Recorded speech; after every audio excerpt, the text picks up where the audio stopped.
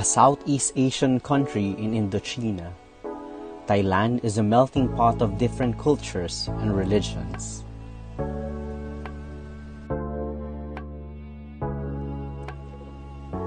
Although predominantly Buddhist, Thailand proves to be a safe place for Catholics.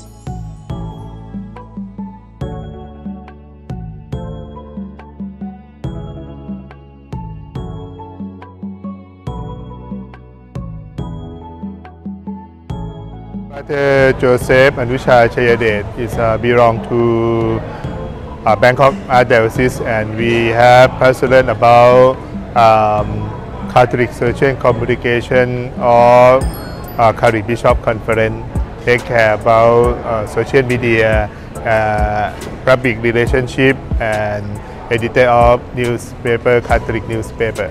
If only Catholic, uh, maybe three, 300,000.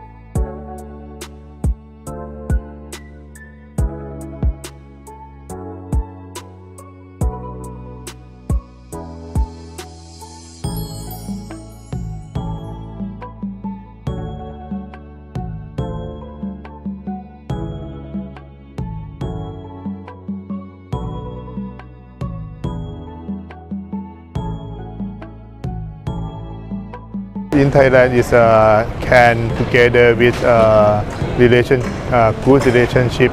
Uh, I mean that um, we have interreligion dialogue. But I think is a most important thing is uh, uh, the king, the government is uh, give free freely uh, to you. Uh, do you believe? And if you believe that uh, we support together and we make faith together when someone is uh, example in in uh, one family is so many religion in, in there we support each other not be not cut uh, cut off each other from each other In a place where anyone is respected and valued, Thailand freely allows the Catholic to exercise their faith and prosper.